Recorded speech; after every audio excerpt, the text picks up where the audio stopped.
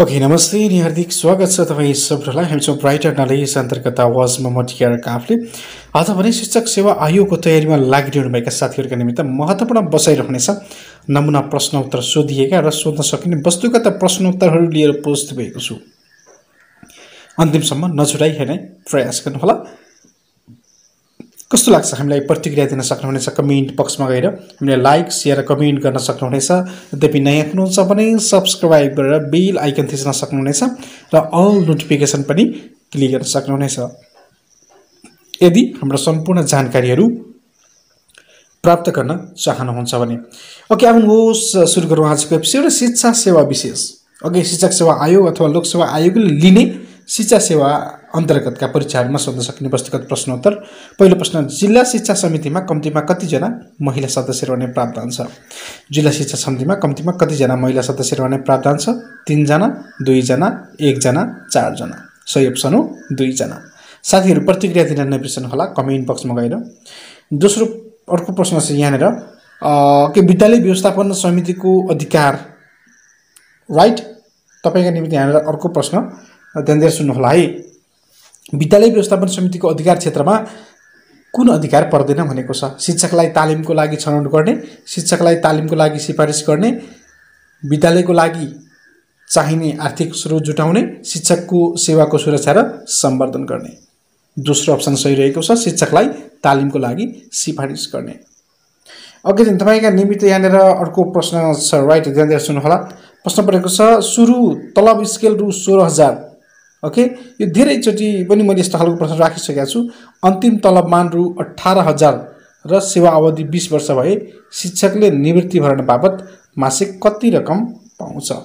Okay सही जवाफ लेखेर कमेन्ट बक्समा छाड्न सक्नु सक्नुहुनेछ मित्र। Right please leave the comment शिक्षकले आधा दिन पनि लिन सक्ने विधा कुन हो? शिक्षकले आधा दिन पनि लिन सक्ने विधा कुन हो? भैपरी र पर्व विधा। राइट भइपरि र पर्व शिक्षकले आधा पनि लिन पाउने विधा हो। मैले अप्सनहरू राखिनँ यसलाई धेरै लेन्दी बनाउन चाहिने भिडियो राइट सो कुनै विद्यालयको प्रधानाध्यापकले आचार संहिता पालना गरे नगरेको अभिलेख कसले राख्नु पर्दछ? सही जवाब हो विद्यालय व्यवस्थापन समितिले। कुनै पनि विद्यालयको प्रधानाध्यापकले आचार संहिता पालन गरे नगरेको अभिलेख विव्यासले राख्ने गर्दछ। स्थायी शिक्षकको कार्य सम्पादन मूल्याङ्कन गर्दा सुपरिवेक्षकले दिन पाउने अधिकतम अङ्क कति हो? स्थायी शिक्षकको कार्य सम्पादन मूल्याङ्कन गर्दा सुपरिवेक्षकले दिन पाउने अधिकतम अङ्क आठ हो मित्रहरू। राइट आठ जसको सही जवाब हो नेपालको अन्तरिम संविधान त्रिसठीमा उल्लेख भएको अन्तिम मौलिक हक। राइट अन्तिम मौलिक हक चाहिँ संवैधानिक उपचारको हक। नेपालको अन्तरिम संविधान अनुसार कुन तहमा मातृभाषा शिक्षा पाउने हक रहेको छ? अन्त आधारभूत तह। ओके आधारभूत सही जवाब हो। विभिन्न जात जाति धर्म भाषा संस्कृति र क्षेत्रप्रति समभाव जगाई समावेशी समाज निर्माणमा सहयोग पुर्याउनु नेपालको कुन तहको शिक्षाको उद्देश्य हो? विभिन्न जात जाति धर्म भाषा संस्कृति र क्षेत्रप्रति समभाव जगाई समावेशी समाज निर्माणमा सहयोग पुर्याउनु चाहिँ प्राथमिक तहको उद्देश्य हो। सन् उन्नाइस सय उन्नब्बे नोभेम्बर बिसमा संयुक्त राष्ट्रसङ्घीय महासभाबाट पारित बाल अधिकार सम्बन्धी महासन्धिमा कति दफा रहेका छन्? सन् उन्नाइस सय उन्नब्बे नोभेम्बर बिसमा संयुक्त राष्ट्रसङ्घीय महासभाबाट पारित बाल अधिकार सम्बन्धी महासन्धिमा चौवन्नवटा दफा रहेका छन्। लैङ्गिक समानता भनेको के हो? लैङ्गिक समानता भनेको कस्तो प्रक्रिया भनेको छ? सही जवाब हो पुरुष महिला बिच गरिने समान व्यवहार भनेर बुझ्नुपर्दछ। त्रिवर्षीय योजना दुई हजार सडसठी टु दुई हजार सत्तरीले प्राथमिक शिक्षा सम्बन्धमा राखेको कार्यक्रम कुन हो? सही जवाब हो बहुभाषिक र बहुकक्षा शिक्षा कार्यक्रम विस्तार। हेर्नुहोस् त त्रिवर्षीय योजना जुन सडसठीदेखि सत्तरी सालसम्मको थियो शिक्षा सम्बन्धमा रहेको कार्यक्रम प्राथमिक शिक्षा सम्बन्धमा रहेको कार्यक्रम बहुभाषिक र बहुकक्षा शिक्षा कार्यक्रम विस्तार रहेको थियो।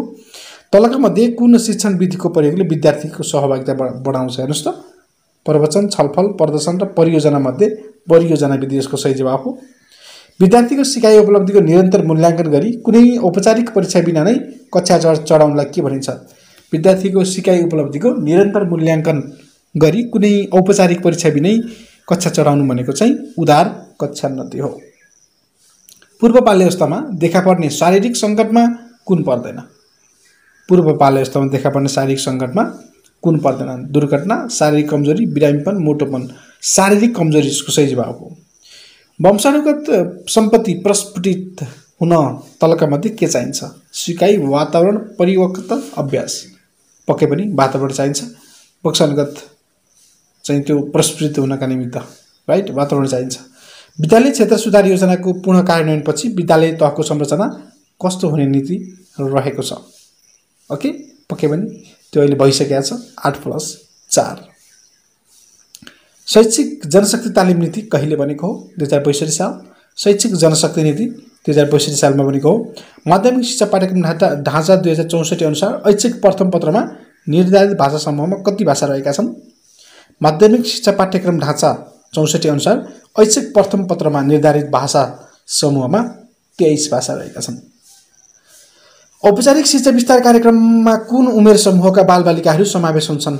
छदेखि आठ वर्ष। औ अनौपचारिक शिक्षा विस्तार कार्यक्रम। सम्झनु चाहिँ अनौपचारिक शिक्षा विस्तार कार्यक्रममा छदेखि आठ वर्षका बालबालिकाहरू। नेपालमा रेडियो शिक्षा शिक्षक तालिम कहिलेदेखि सञ्चालन भयो? नेपालमा रेडियो शिक्षा शिक्षक तालिम राइट रेडियो शिक्षा शिक्षक तालिम चाहिँ उन्नाइस सय असीदेखि सुरु भएको सन् उन्नाइस सय असी मद्रासा शिक्षाको पाठ्यक्रम ढाँचा अनुसार सामाजिक अध्ययनको पाठ्यभार कति हो? तिन यो अघिल्ला एपिसोडमा पनि मैले राखेका थिएँ। यो प्रश्नहरू चाहिँ निर्माणात्मक मूल्याङ्कनको साधनहरूमध्ये प्रथम चरण कुन हो? पक्कै पनि यसमा डाउट छैन। कक्षा कार्य यसको सही जवाब हो। शिक्षा दुई हजार अठाइसको छैटौँ संशोधन कहिले भयो? शिक्षा ऐन दुई हजार अठाइसको छैटौँ संशोधन कहिले भयो? दुई हजार पचपन्न दस महिना एक गते। नेपालको संविधान बहत्तर अनुसार अनुसूची छमा के को व्यवस्था गरिएको छ? अनुसूची छमा चाहिँ प्रदेशको अधिकारको सूची गरिएको छ। मैले रिभ्यू गरिरहेको छु।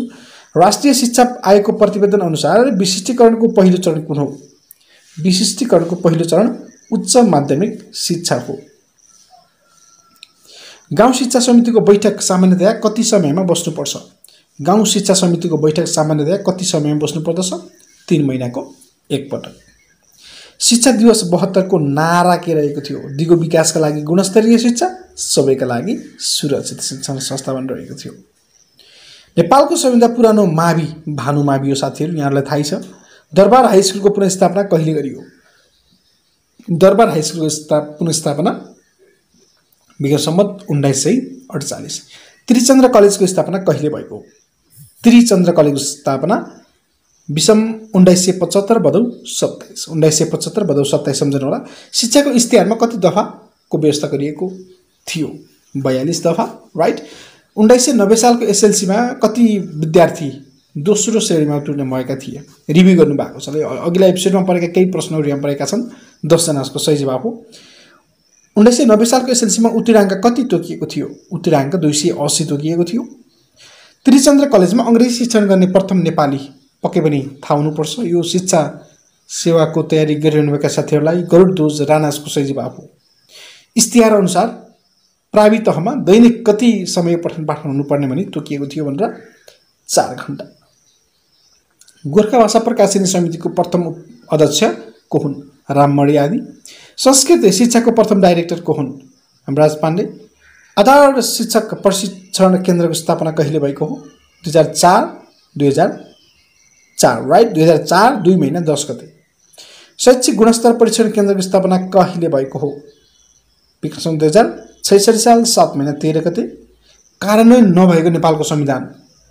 नेपाल सरकार वैधानिक कानुन दुई हजार चार नेपाल सरकार वैधानिक कानुन दुई हजार चार कार्यान्वयन हुन सकेको थिएन। दुई हजार सात सालमा महिला साक्षरता कति प्रतिशत रहेको थियो? दुई हजार सात सालमा महिला प्रतिशत शून्य दशमलव सात प्रतिशत रहेको थियो। राणाकालीन समयमा छ पासेलाई के भनिन्थ्यो? निकै सोधिने प्रश्न। राणाकालीन समयमा छ पासेलाई निजामती प्रथमा भनिन्थ्यो। नेपालको प्रथम अङ्ग्रेजी स्कुल कुन हो? दरबार हाई स्कुल हो। नेपालको प्रथम अङ्ग्रेजी स्कुल दरबार हाई स्कुल। विद्यालय शिक्षा किताबखानाको स्थापना कहिले भएको?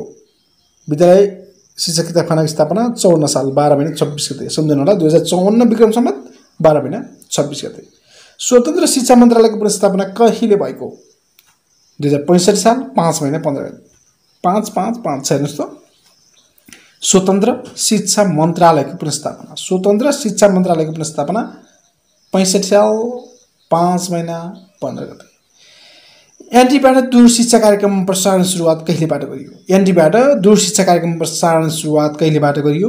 सन् दुई हजार बाहन्न सालबाट राइट दुई हजार बाहन्न सालबाट एनडीबाट दूर शिक्षा कार्यक्रम प्रसारण सुरुवात गरियो। शिक्षक सक्षमताको प्रारूप बहत्तर शैक्षिक जनशक्ति विकास परिषदबाट कहिले पारित भयो? पारित भयो लागू भयो। भन्दा बहत्तर बाह्र महिना तिन गते राइट बाह्र महिना तिन गते। सन् दुई हजार तिससम्म शिक्षाको ढाँचाको ढाँचा प्रस्तुत गर्दै इन्चन सम्मेलन कहाँ सम्पन्न भयो? दुई हजार पन्ध्र साल। कहिले है? दुई हजार तिससम्मको कार्य ढाँचा प्रस्तुत गर्दै इन्चियन सम्मेलन चाहिँ कहिले भनेर भन्दा दुई हजार पन्ध्र मे उन्नाइसदेखि बाइस तारिकसम्म। शिक्षक सक्षमताको प्रारूप दुई हजार बहत्तर अनुसार शिक्षाको लागि कतिवटा सक्षमता छ? आठवटा। ए ग्रेड ल्याउने विद्यार्थीको ग्रेड पोइन्ट कति हुन्छ? तिन दशमलव छ। नेपालमा सिएएसको सुरुवात कहिलेदेखि भएको हो? विकसन दुई हजार चौवन्न सर्वप्रथम सिएएस कति जिल्लामा पाइलटिङ गरिएको थियो? पाँच जिल्लामा। युनेस्को लागि नेपाल राष्ट्रिय आयोगको स्थापना कहिले भयो? उन्ना दुई हजार दस दुई हजार दस। शिक्षा विभागमा हाल कतिवटा शाखा रहेका छन्? उन्तिसवटा। अनौपचारिक शिक्षा केन्द्रको स्थापना कहिले भयो? दुई हजार छप्पन्न साल। राइट अनौपचारिक शिक्षा केन्द्रको स्थापना दुई हजार छप्पन्न साल भएको हो ओके? हल्का शिक्षा मन्त्री तपाईँलाई थाहै छ होला। गुरुराज मरी पोखरेल। तेह्र त्रिवर्षीय योजनाअनुसार पन्ध्रदेखि पच्चिस वर्षको साक्षरता योजनाको अन्त्यसम्म कति पुर्याउनु लक्ष्य लिएको छ? पन्चानब्बे प्रतिशत। एलिजाबेथ बी हर्लकका अनुसार जन्मपूर्वको अवस्थालाई कति चरणमा विभाजन गरिएको छ? तिन चरणमा। ओके दुई हजार अठाइस सालमा महिला साक्षरता दर कति प्रतिशत रहेको थियो? तिन दशमलव नौ प्रतिशत। अठाइस सालमा महिला साक्षरता चाहिँ तिन दशमलव नौ प्रतिशत। विशेष शिक्षा परिषदमा अध्यक्षको अतिरिक्त कतिजना सदस्य रहन्छन् एघारजना एसएसआरबीलाई कति जिल्लामा पाइलटिङ गरिएको थियो? तिन जिल्लामा। सेती परियोजना कहिले लागू गरियो? अडतिस साल ओके दुई हजार अडतिस साल। इएफए अनुसार प्राथमिक तहको खुद भर्नादार सन् दुई हजार पन्ध्रसम्ममा कति पुर्याउने लक्ष्य लिएको छ? Hundred percent. कार्यक्रमले कति सूचक तय गरेको थियो? Education for all two thousand one to फिफ्टिनको कुरा गर्दैछु मैले। अठारवटा। एजुकेसन फर अल सबैलाई लागि शिक्षा कार्यक्रमले कति सूचक तय गरेको थियो भन्दा अठारवटा। एनसिएफ त्रिसठी अनुसार हाल शिक्षाको राष्ट्रिय उद्देश्य बाह्रवटा रहेका छन्। उनपचासको गठन कहिले भयो? एनइसी दुई हजार उनपचासको गठन सडचालिस साल एघार महिना चौध गते। ओके सडसठी साल एघार महिना चौध गते। शिक्षा नियमावली अनुसार प्रधानध्यापक छनौटका आधारहरू कतिवटा रहेका छन्? छवटा। शिक्षा नियमावली अनुसार प्रधानध्यापक छनौटका आधारहरू छवटा। शिक्षा नियमावलीका नियमावली अनुसार प्रधानध्यापक छनौटका आधारहरू मध्ये शिक्षण अनुभव बापत कति अङ्क प्रदान गरिन्छ? शिक्षा नियमावली अनुसार प्रधानाध्यापक छनौटका आधारहरू मध्ये शिक्षण अनुभव बापत कति अङ्क प्रदान गरिन्छ? पच्चिस अङ्क। शिक्षा नियमावलीमा आठौँ संशोधन कहिले गरियो? दुई हजार एकहत्तर एक महिना उन्तिस गते। विकसन दुई हजार एकहत्तर एक महिना उन्तिस गते। शिक्षा नियमावलीको आठौँ संशोधनले अस्थायी शिक्षाको पदावधि कहिलेसम्म तोकेको छ? थियो भनौँ न अब होइन? चैत मसान्त गइसकेका थियो दुई हजार पचहत्तर साल चैत मसान्तसम्म तोकेको थियो। शिक्षक सेवा आयोगको नियमावलीमा सबै संशोधन कहिले गरियो? भन्दा एकहत्तर एघार महिना छब्बिस गते। शिक्षक सेवा आयोगको नियमावली नवौँ संशोधनले अध्यापन अनुमतिको परीक्षाको दिनाङ्क कति तोकेको? छ भनेर भन्दा पचास। शिक्षक सेवा आयोग नियमावलीले पचास तोकेको छ अनुमति अध्यापन अनुमति पत्रको उदिनाङ्क जुन चाहिँ नवौँ संशोधनले हो भनेर बुझ्नु होला शिक्षा नियमावलीको आठौँ संशोधनले कति समयपछि उत्तर पुस्तिका तुल्याउन सक्ने व्यवस्था गरेको छ? छ महिनापछि। प्रावि प्लस निमावि सञ्चालित विद्यालयमा कति महिला शिक्षक रहने व्यवस्था रहेको छ? दुईजना। शिक्षकको का समूह अन्तर्गत सुपरिवेक्षकले अधिकतम कति अङ्क दिने व्यवस्था नियमावलीमा रहेको छ भन्दा आठ अङ्क। महिला शिक्षकले मात्र कति प्रकारका विद्या पाउ लिन पाउँछन् भन्दा आठ प्रकारका।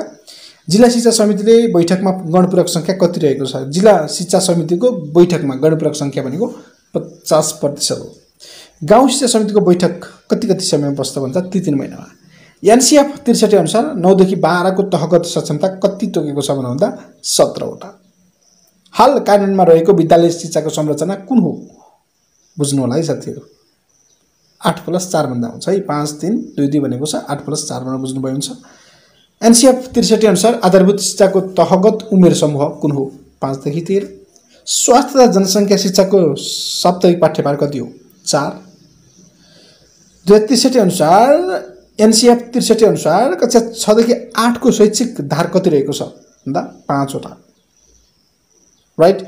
कक्षा नौको नयाँ परिमार्जित पाठ्यक्रम कुन शैक्षिक सत्रदेखि लागू गरिएको छ भन्दा त्रिहत्तर सालबाट लागू हुँदै आइरहेको छ दुई हजार त्रिहत्तरबाट कक्षा नौको नयाँ परिमार्जित पाठ्यक्रम राइट? ओके एनसिएफ त्रिसठी अनुसार आधारभूत तह छदेखि आठ साप्ताहिक पाठ्यहार कति रहेको छ? भन्दा चालिस। एनसिएफ त्रिसठी अनुसार आधारभूत शिक्षाको उद्देश्यहरू कतिवटा छ भन्दा चौधवटा। केही प्रश्न पुनः तपाईँका लागि थपेको छु यहाँनिर। स्वीकार्नुहोला। नेपालको शैक्षिक इतिहासमा सुन्दरानन्द वडाको त्रिरत्न सौन्दर्य गाथाको रचना पढ्न पाइन्छ। अब भन्नुहोस् उक्त रचना कसको पालामा भएको थियो? राजेन्द्र वीरविक्रम शाह। राष्ट्रिय शिक्षा योजना आयोगको प्रतिवेदन दुई हजार एघारमा जम्मा चार भाग थिए। सारांश र सिफारिस कुन भागमा राखिएको थियो? तेस्रो भागमा आन्तरिक परीक्षाको नम्बर एसएलसी जाँच पनि गणना हुनेछ भनेर कसले सिफारिस गरेको भन्दा एनइएसपी दुई हजार अठाइस। प्रलाई तलबको पच्चिस प्रतिशत भत्ताको रूपमा दिनुपर्छ। कसले सिफारिस गरेको हो? भन्दा एचएल एनइसी दुई हजार पचपन्न। एसियाली ब्याङ्कको सहयोगमा विज्ञान शिक्षा परियोजना कहिले सुरु भयो? दुई हजार उन्चालिस साल। दिएका मध्ये कुन वर्ष शिक्षा दिवसको नारा तय गरिएन भन्दा त्रिसठी। राष्ट्रिय पाठ्यक्रम प्रारूप त्रिसठीले आधारभूत तह अन्तर्गत दोस्रो चरण कक्षा चार र पाँचमा सिकाइका प्रमुख क्षेत्र कतिवटा तोकेको भन्दा चारवटा औपचारिक शिक्षाको ठिक उल्टो अनौपचारिक शिक्षा हो यो भनाइ कसको हो? इलिच र फ्रेरे। हाल नेपालमा प्रावि कक्षा एकदेखि तिनमा कति पुराङ्क कायम छ? छ सय। हाल शिक्षा मन्त्रालय अन्तर्गत कतिवटा केन्द्रीय निकायहरू रहेका छन्? सातवटा कक्षा दसबाट एसएलसीमा मात्र सोध्न सक्ने निर्णय कहिलेबाट भएको जुन अहिले एसई भनिन्छ दसबाट मात्र सोध्ने निर्णय चाहिँ दुई हजार त्रिसठी सात महिना चौध गते भएको। राइट त्रिसठी सात महिना चौध गते शिक्षक शिक्षा परियोजनाले कस्तो सिपलाई जोड दिएको छ? भन्दाखेरि चाहिँ सफ्ट स्किल शिक्षक शिक्षा परियोजनाले चाहिँ सफ्ट स्किललाई जोड दिएको छ। तेह्रै योजनाले समेटेको शिक्षा सम्बन्धी प्रमुख कार्यक्रम तलका मध्ये कुन पर्दैन? बाल विकास कार्यक्रम आधारभूत शिक्षा अनौपचारिक खुला तथा दूर पर्दैन है। खुला तथा दूर। उन्नाइस सय एकानब्बेमा स्थापित नेपाली आर्ट स्कुललाई कहिलेदेखि युद्धकला पाठशाला बनाइयो? उन्नाइस सय पन्चानब्बे। राष्ट्रिय पाठ्यक्रम विकास तथा मूल्याङ्कन परिषदमा मनोनित सदस्य र मनोनितको पदावधि तिनदेखि चार वर्षको हुन्छ। पैतृक सम्पत्तिमा छोरा र छोरीको समान हक हुनेछ। यो नेपालको अन्तरिम संविधान त्रिसठी अनुसार कुन हक अन्तर्गत पर्दछ?